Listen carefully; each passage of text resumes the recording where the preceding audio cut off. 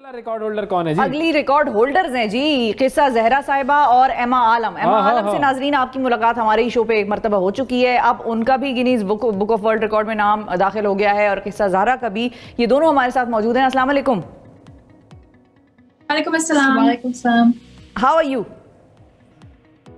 We're good. Thank you so much for inviting us on your show. Thank you two for joining सबसे पहले किस्सा की तरफ़ जाएँ हम किस्सा की तरफ़ जाते हैं बिकॉज़ किस्सा पहली दफ़ा किस्सा थोड़ा हमें। प्लीज़ किस्सा सुनाए ना कि ये कौन सा रिकॉर्ड है हाँ Okay, so basically अभी recently जो World Memory Championship हुआ था उसमें मैंने पार्टिसिपेट किया था और उसके एक डिसिप्लिन में जो कि हिस्टोरिक फीचर डेट्स है उसमें मैंने पाँच मिनट में 241 फिक्शनल डेट्स याद किए थे और उसको इफेक्टिवली रिकॉल किए थे फिक्शनल डेट्स क्या होती है? मतलब वो कैसे आपको बताते हैं कि भाई ये डेट याद रख लें कोई स्पेसिफिक करें मतलब ये होता है कि ऐसी डेट्स जो कि ज़िंदगी में कभी नहीं देखी हों ताकि वो आपकी मेमोरी का असल में टेस्ट दे सकें कि जो आप याद कर रहे हैं वो उसी ऑन द स्पॉट आप याद कर सकें। अच्छा मसलन अच्छा। आप आप शिफा को कोई भाई बताएँ कोई डेट तो हम देखते हैं कि शिफा को याद रहती है या नहीं रहती है।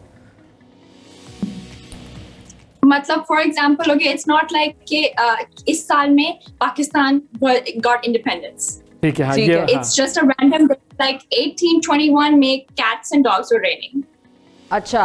So they're very random there's no way कि आपको उससे पहले पता हो कि वो डेट क्या आने वाली है।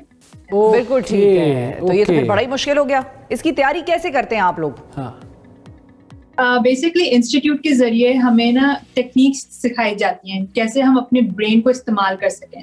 उन टेक्निक्स के ज़रिए हम इंफॉर्मेशन को इफेक्टिवली मेमोराइज कर सकते हैं और उसको सही टाइम पे हम रिकॉल कर सकते हैं उसको रिप्रोड्यूस कर सकते हैं।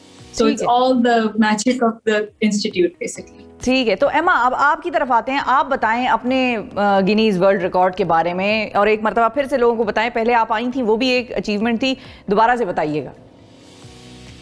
ओके सो रिसेंटली ही गिनेस ने हमें कंफर्मेशन भेजी कि हमारे रिकॉर्ड्स वो हो गए हैं रिकग्नाइज हो गए हैं। मेरा एक जो रिकॉर्ड है वो ये है कि मैंने 15 मिनट में 280 नेम्स याद किए थे with their face with their face एक ये हो गया। hmm. दूसरा मैंने 410 वर्ड्स याद किए थे 15 मिनट्स में। And that's the highest anyone has done so जो पीछे आप देख रहे हैं वो गिनेस के सर्टिफिकेट्स ही हैं जो लगे हुए हैं। हमें मिले हैं। यस फ्यूचर प्लान्स अब आगे क्या करना है आप दोनों ने? अपना अपना बताइए। ओके सो मेंटल लिटरेसी की तीन कॉम्पिटिशन होते हैं। एक तो हो गया मेमोरी जिसमें दस डिसिप्लिन होते हैं जिसमें आपको कंप्लीट करना पड़ता है। Uh, इसमें आपको हज़ारों numbers words names and faces and everything मिलते हैं। दूसरा हो गया mind mapping it's the art of summarising it's कैसे आप लार्ज अमाउंट ऑफ़ इंफॉर्मेशन को कम जगह पर ऐसे समराइज करते हैं कि आपके लिए आपकी ब्रेन के लिए यादगार हो जाए। ठीक है। तीसरा है स्पीड रीडिंग स्पीड रीडिंग को थोड़ा मैं एक्सप्लेन करना किसा को बोलूँगी कि वो एक्सप्लेन करें क्योंकि she is the UK speed reading champion as well तो बेसिकली स्पीड रीडिंग ये होता है कि आप कैसे अपनी ब्रेन की अच्छा कि कैसे आप अपने ब्रेन की प्रोसेसिंग पावर को इंक्रीज कर सकें। कि सिर्फ़ तेज़ी से नहीं पढ़ सकना बट उसको इफेक्टिवली कॉम्प्रीहेंड करना। अगर मैं इसको कंपेयर करूँ कि ये स्टडीज़ में कैसे इफ़ेक्टिव होता है हम जैसे एक एक किताब उठाते हैं पढ़ने के लिए एंड पूरा एक एकेडमिक साल लगाते हैं उस किताब को रट्टा लगाने में उसको हम्म। पढ़ने में लेकिन फिर भी हम स्ट्रगल करते हैं। स्पीड रीडिंग कोर्स के ज़रिए हम वो सेम किताब कुछ घंटों में पढ़ के उसको इफेक्टिवली कॉम्प्रीहेंड करके हम उसका एग्ज़ाम दे सकते हैं। तो अगर मैं इसको वो करूँ कि जो चीज़ हम एक साल लगाते हैं पढ़ने में वो कुछ ही घंटों में हम पढ़ सकते हैं।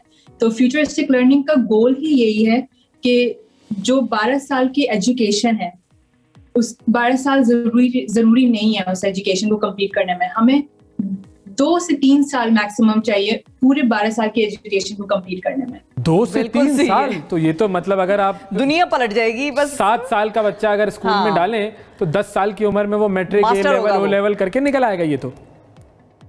एब्सोल्युटली बिकॉज़ हमारा ब्रेन इतना केपेबल है। अगर आप देखें तो दुनिया में जो सबसे पावरफुल इन्वेंशन है वो दिमाग ने ही तो की है। जो सब सबमरीन्स हैं जो डीप सब ओशन में जाते हैं जो रॉकेट्स हैं जो स्पेस को करते तो हैं यानी कि हमारा दिमाग फुली केपेबल है ये चीज़ ये काम करने के लिए। Just the right training and right skill set और राइट मेंटरशिप बहुत शुक्रिया अदा करेंगे किस्सा और एमा आप दोनों का। Congratulation once again to you your family your academy और इसी तरह पाकिस्तान का नाम रोशन करती रहें। दुनिया में दिमाग जो है वो लोगों का क्या क्या करता है और अल्लाह मियाँ ने कितना ज़बरदस्त हमें एक कैपेबिलिटी दी हुई है आला दिया हुआ है, आला। वो मैं यहाँ पे एंकरिंग कर रहा हूँ।